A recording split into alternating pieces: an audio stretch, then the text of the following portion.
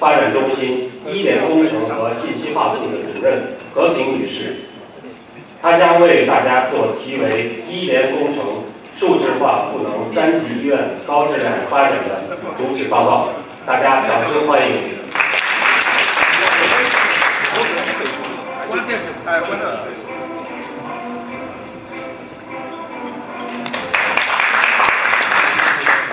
尊敬的莫主任啊，尊敬的张主任，我们各位领导啊，各位嘉宾，大家下午好！很高兴啊，在这里给大家交流分享我们上海深康医院发展中心啊，在信息化方面怎么助推市级医院发展的一些工作的一些想法和思考。那么深康中心呢，我相信很多的领导也不是非常的这个熟悉啊，因为我们也是个年轻的单位，它是零五年九月份啊刚刚成立的。呃，将近二十年的时间呢，也是国内第一家管办分开的医疗卫生机构的一个管理单位。那我们呢，是对整个上海的市级医院啊，进行在国有资产投资、管理和运营的责任主体。同时呢，又是肩负着市政府对医院的这样一个政府办医的一个责任主体。我们整个生康中心呢，是在一个理事会领导下的一个主任负责制。那么我们理事会单位呢，也是非常的权威啊，卫健委、教委。国资委、人保、发改、财政啊，是我们政府部门的相关的领导下呢，也是这样一个啊一个一个这样的一个机构。那我们下辖呢是有二十六家的啊直属的市级医院，以及有十一家的合作共建的医院。那么整个一个深康呢，我们是以战略规划作为引领啊，以信息化的一年工程作为支撑，以全年预算管理、绩效管理、医疗服务、临床研究作为抓手啊，以投资建设。资产监管和审计监督作为保障，来努力探索建立这样一个新型的一个办医的体制，来全面助推市级医院的高质量发展和为老百姓的一个便民的服务。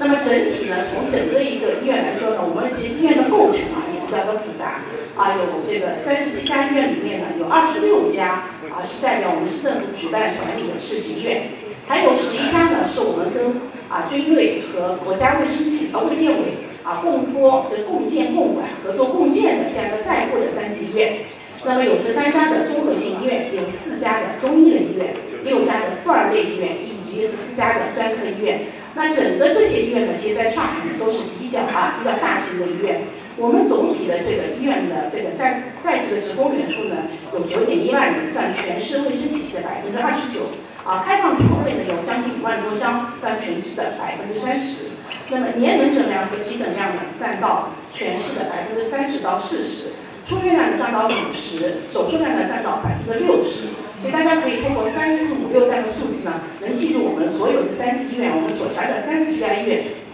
在全市的这样的业务量的情况。那么给各位领导也是汇报一下啊，我们信息化在建设过程中啊，怎么针针对我们的患者服务、医生的服务、医院的管理。以及科研的支撑等相关的工作呢，也是发挥信息化的这个功具体的一个功能。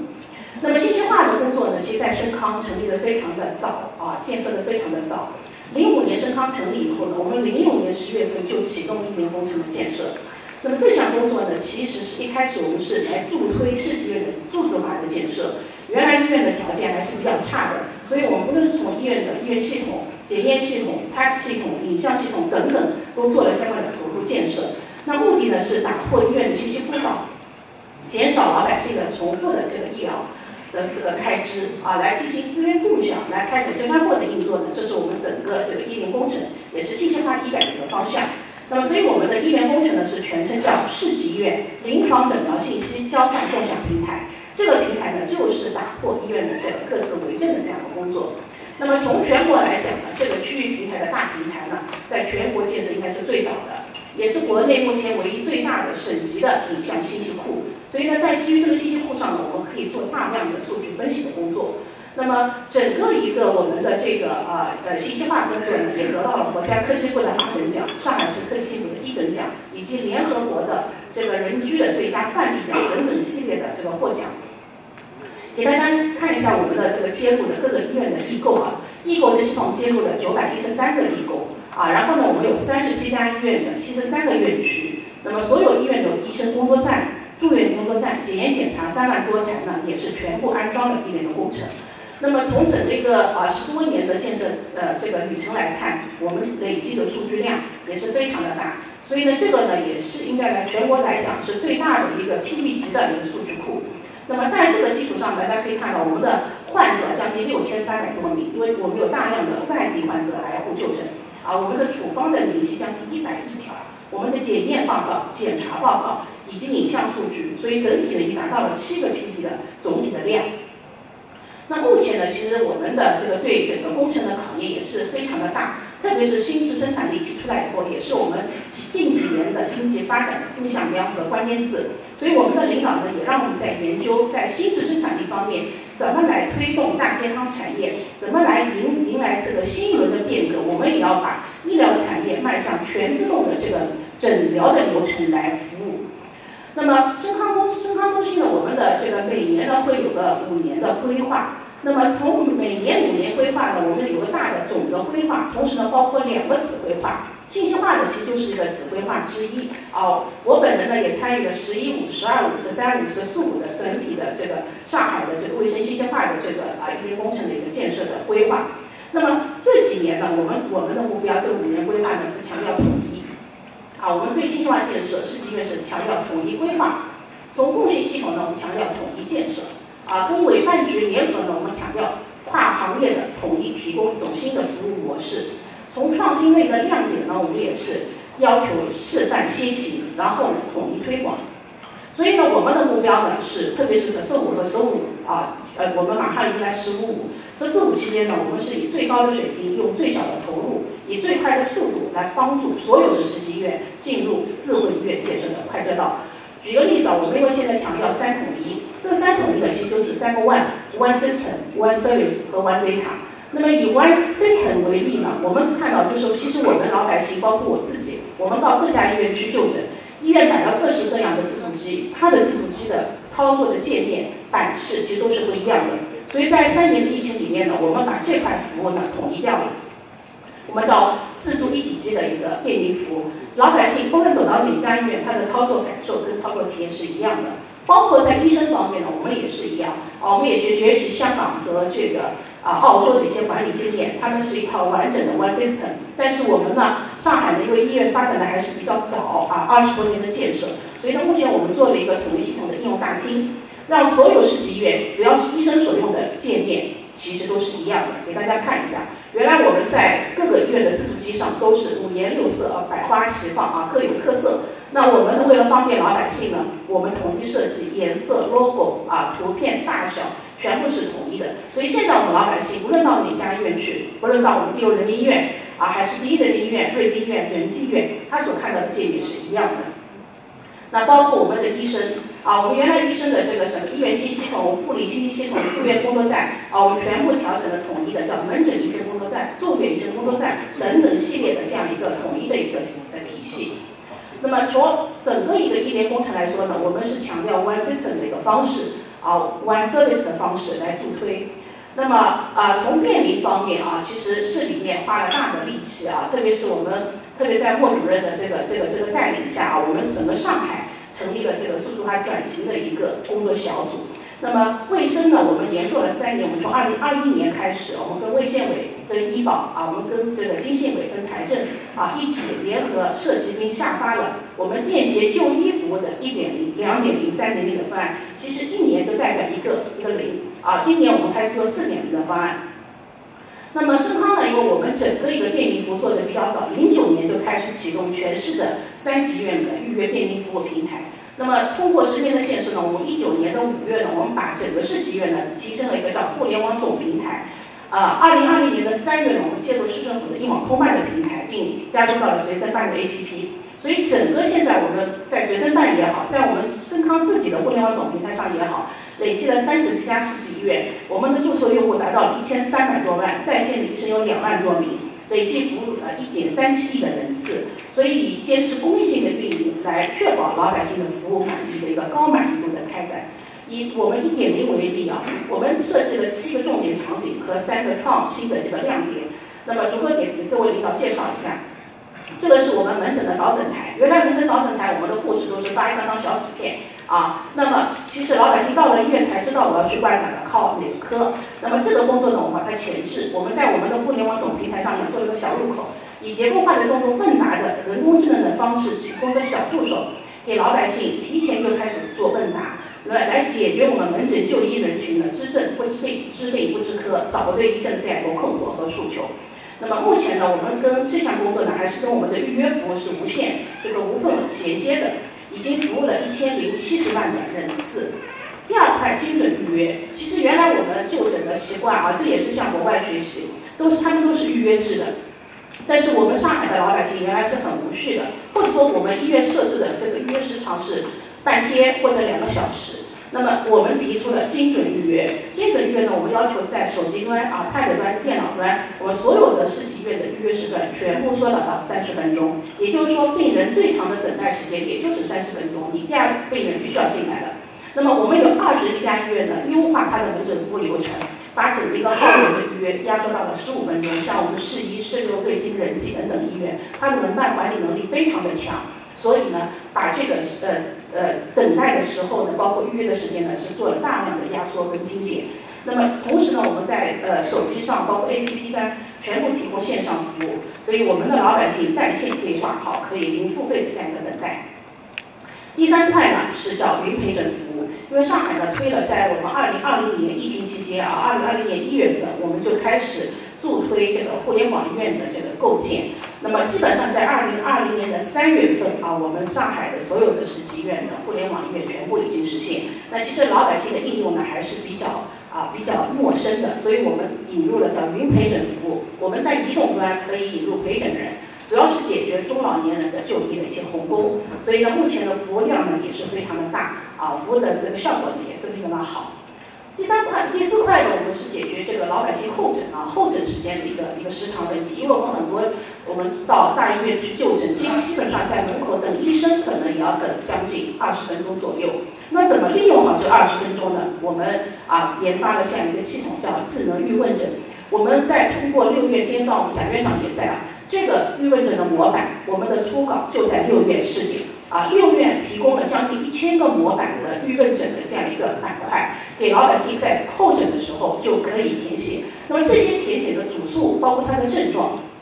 在老百姓进入诊间，他的这个主诉就能同步到医生的门诊电子病历，这样的帮助医生啊快捷的采集他的病人的病史，他可以摘录引用，放到他的真正的病史中去，来提高的这个诊疗的效率。所以大家可以看，我们的一千八百五十七个这个模板已经推广到了六百家所有的市的医疗机构，不论是三级医院、二级医院、一级医院，我们通过数字化转型，把模板全部覆盖下去。那么整个一个组数将近有将近有五百八十多份。那么第五块是医疗付费，这个呢我们提出了，也是在全国第一家提出无感支付。我们跟中国银联啊、跟财政、跟金融局一起共同研发，在依托我们的大数据中心的这个随身办。我们目前到各家医院去就诊，不需要带医保卡啊，手持的医保卡不用带，因为当初在疫情期间，我们担心交叉感染，所以呢，我们研发了叫医保电子凭证，老百姓只要亮一个随身码，就是我们在疫情期间用的随身码，这个码就可以在医院看病，就可以结算。所以现在我到医院去看病，我自己不带任何卡啊，但是医保可以结算，非常的方便。所以呢，这个呢也是我们在整个一个体系中啊，全国也是最早最早来做这个事情的。然后量呢也是非常的大，呃，每天的量基本上基本上都在用无感支付的这种感受来减少老百姓的排队。那么第六块配套的就是，因为我用手机支付了，所以我们的很多病例老百姓要在手机上看，所以我们将提供了这样一个门诊医保便利就医册啊，咱们在手机上都可以看到我们到各家医院就诊的这个记录。同时呢，出院小结，我们也跟经信委包括 CA 中心一起研发了这个。统一的这样一个 CA 的一个电子出院小结的一个公章，咱们的原来医院的公章都是各式各样的，有蓝色、有红色、有方形、有菱形啊，有有圆形。那么通过这个项目呢，我们把所有的医院啊全部设计成同样一个的这个义务专用章，用来做出院小结。所以老百姓出院以后忘了拿这个材料没问题，我们手机上都可以查看。那么，所以这个的量呢也是非常的大，将近五百多份啊的这个上传量。那么最后一块是我们的互联网总医院这块平台呢，其实也是因为依托着疫情啊，呃，我们当时李强书记在上海的时候啊，一个呢是去了我们仁济医院和五官科医院，亲自观摩我们互联网医院的一些做法，同时他也提出了要做大做强互联网诊疗功能，来全力守护人民健康。那么截止到三月底啊，我们的互联网人次已经有一千一百七十六万人次，呃，在互联网上发生的这个结交的一些费用支付的费用将近十八个亿，我们的处方量达到了将近六百万的这个这个数量，所以我们互联网医院其实是我们四级医院、我们各个医院的一个延伸，也是为方便老百姓的就医提供了一个非常便捷的一个通道。那么从整体来说呢，我们从数字化转型一点零啊，刚刚介绍的都是一点零的项目，我们其实在这几年陆续推两点零和三点零，目的就是用数字化的能力能级来推动我们世纪院的发展。在这个推动过程中呢，其实不论是五 G 的这个网络通讯、大数据、互联网、人工智能、数字孪生啊、区块链，都是在我们整体的这个转型中介入了信息化的翅膀啊，来助推医院的一个全民的服务。所以从这个数字化转型来讲啊，我们总体呈现了双增双减的一个效益。我们很多医院呢也获得了这个示范的一个一个单位的一个一个一个嘉奖。那么这是针对患者的一些的我们的做法。那么第三块是面向我们医生的一些服务。那么因为深康呢，从整个大数据平台，我们积累了大量的这个呃患者的资料，所以呢，我们开始从持续化的数据做患者的特征的标签。来重构我们患者的一个一个体系。目前呢，我们已经建立了将近三千万人群的这样一个画像的一个体系，然后为主要是为医生来提供全方位的视角。因为从整个一个工作来讲啊，不论是标准，不论是他的用药，不论是他的一个啊手术情况、影像情况，我们市级医院都可以跨院调阅。只要这个病人在医生诊间就诊，我们的医生就可以掌握他在其他医院的。同科室的就诊情况，这个呢也为我们的医生能够更快的了解病人的病情，来进行的这个后一步的诊断，包括他的检验报告、放射报告、他的影像，我们都是可以在啊在所有的医院内，我们可以跨院共享。同时呢，为了加快，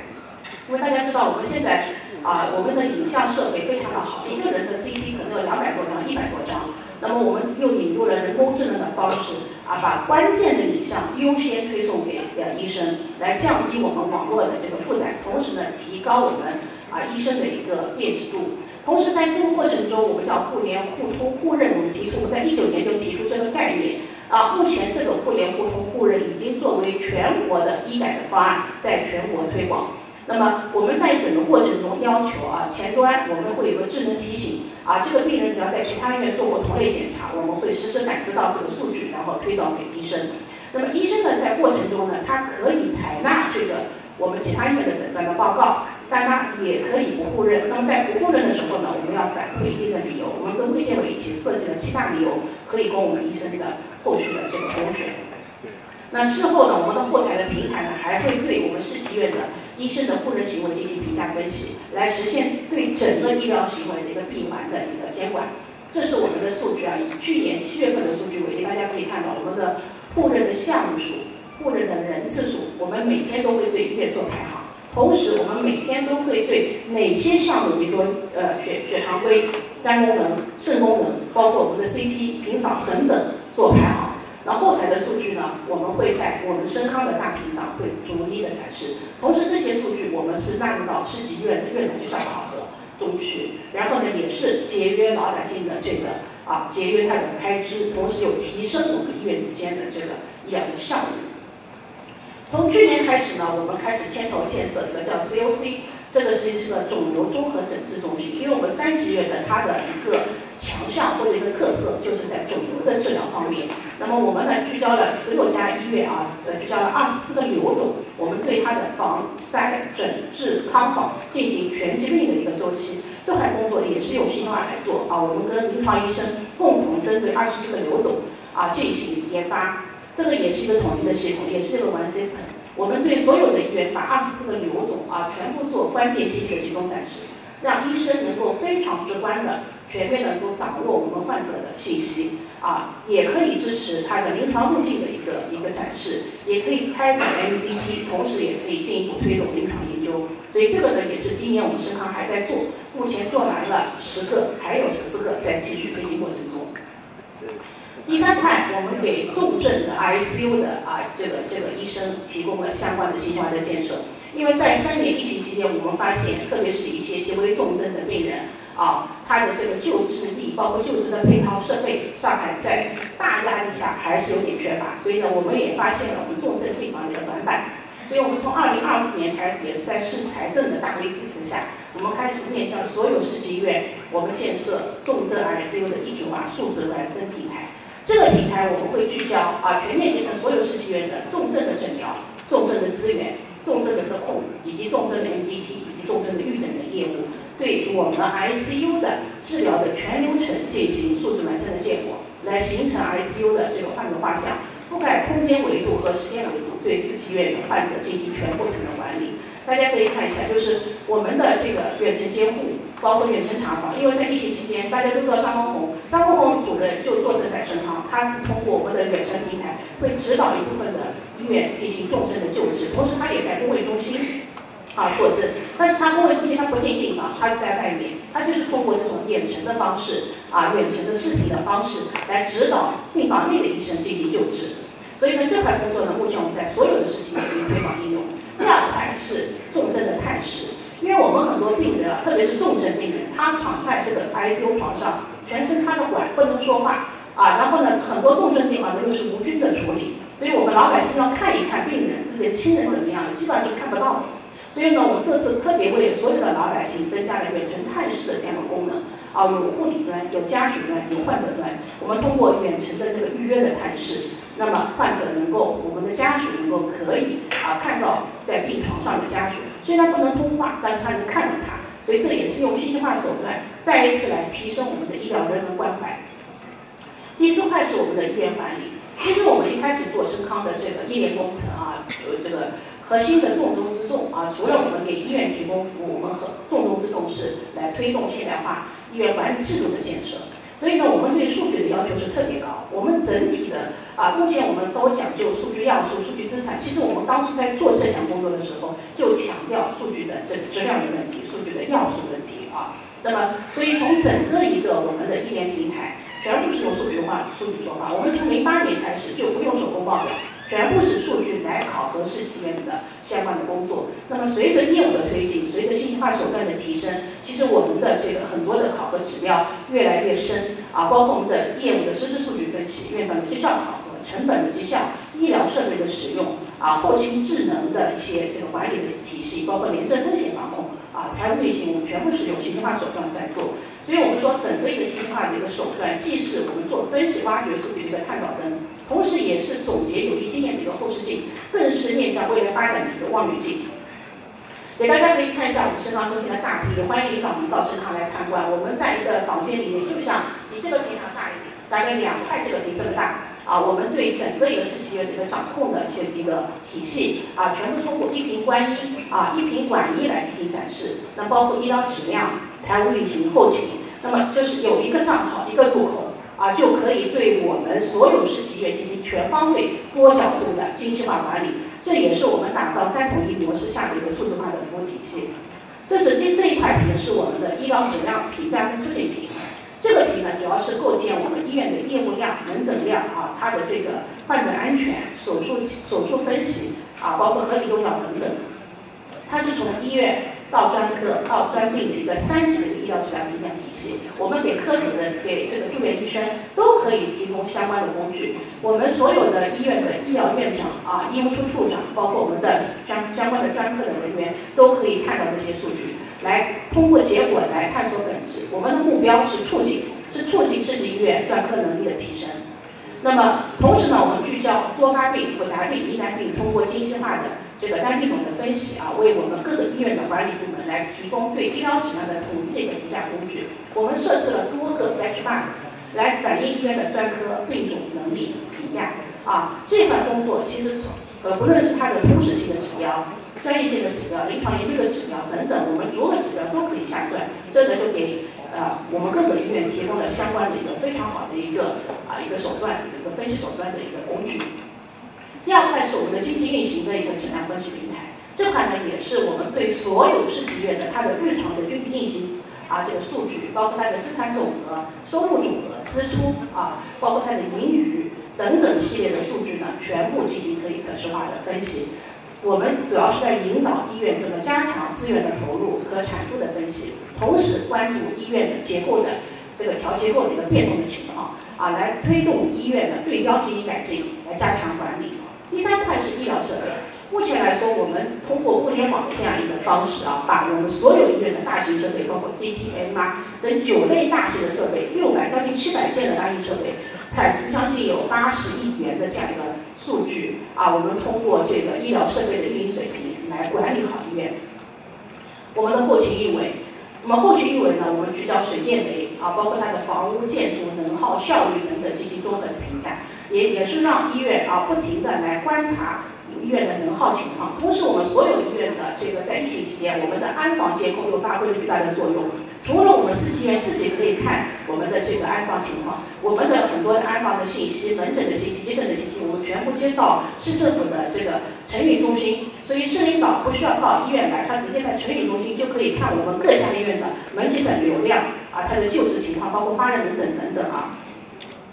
最后一块是我们的临床研究啊，临床研究呢，我们研究了这样一个啊，目前在通过一些课题研究啊，我们聚焦了四十五个专病队列啊，我们做相关的这个呃呃病例的一些分析。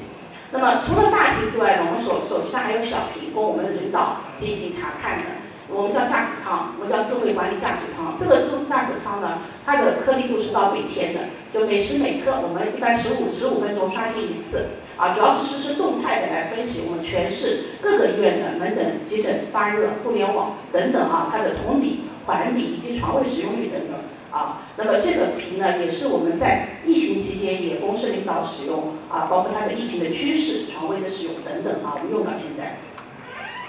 那么最后一块是我们的科研，其实科研来讲呢，今年我们是呃这三年我们深康也一直在发力啊，通过专精库的建设。啊，通过这个 high clip 就是一起联动的建设，这块工作呢还是比较有创新性的。我们希望医院啊，通过我们的医生能够发起他的研究的一些思路和方向，然后呢，我们跟经信委呢联合来审核他的需求，然后对接到相应的药企啊或者器械的企业，来确保这个短周期的或者加速整个一个一起联动的对接。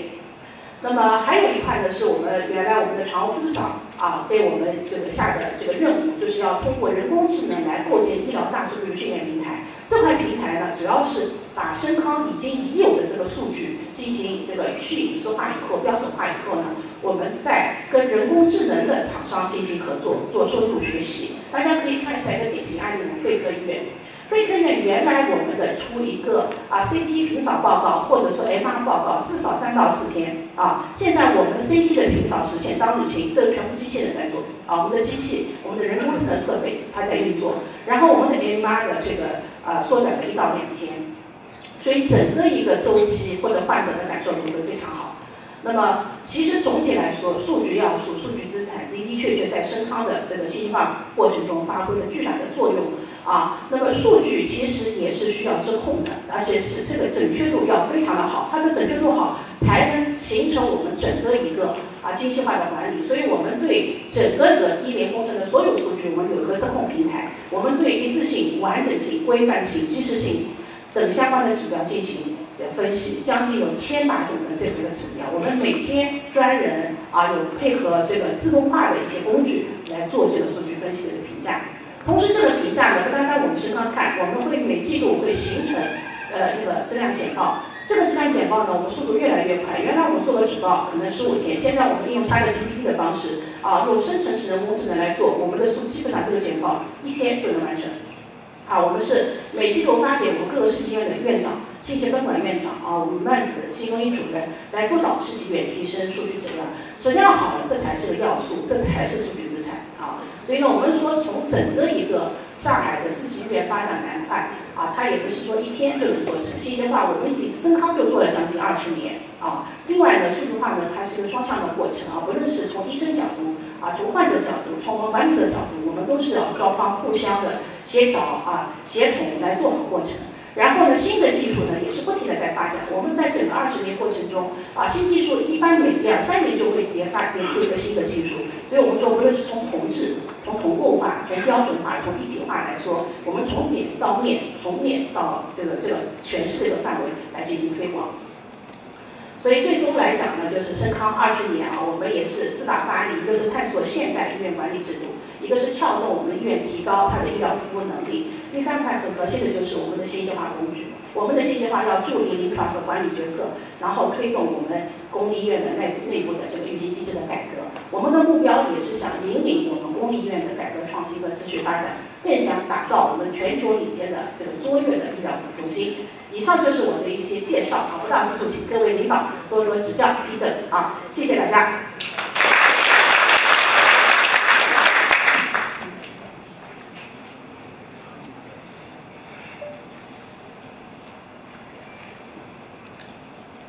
非常感谢何主任精彩的分享啊！何主任跟我们分享了上海医联工程的发展历程，以及在面向患者的应用、面向医生的服务、面向医院的管理、面向科研的支撑和高效率的数据质控等方面取得的重要进展，信息量非常大。那我想明天我们安排的参观考察，我，相信给各位嘉宾也会带去更直观的感受，大家可以看。医疗方面的信息化建设的成就，呃，上海的广大医务工作者和医学界的专家学者们始终努力探求新技术，目的就是为了让人民群众呃能感受到更便捷、更优质、更高效的医疗服务。让我们再次对和平主任的精彩分享表示感谢。